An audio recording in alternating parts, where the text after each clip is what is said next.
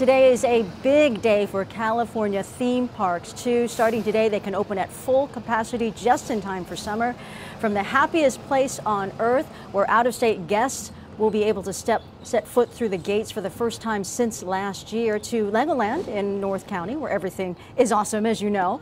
And of course, there's SeaWorld, where ABC 10 News anchor Mary McKenzie has been on more tracking the changes they are making.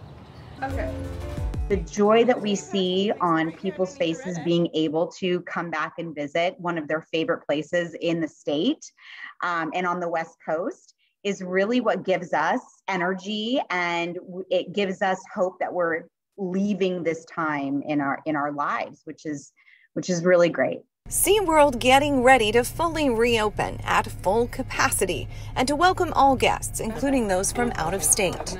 They'll continue with enhanced cleaning and sanitization and will follow state health department guidelines. For instance, if people aren't fully vaccinated or haven't had a negative COVID test, they'll need to continue to wear masks.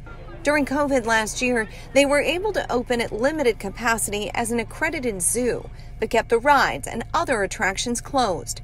Late spring, they finally opened as an amusement park, but with limited capacity. They've been through many changes during the past 15 months, and those changes will continue as the last season of Chula Vista's Aquatica water park opens before going away for good. People are excited to be back in the water, and this park has been closed for almost two years. We've also been preparing for the transformation to Sesame Place. So, yeah, this is the final season when we close on Labor Day Monday, we will start our transformation to Sesame Place and we will be announcing an opening date um, in the fall and we'll open spring 2022.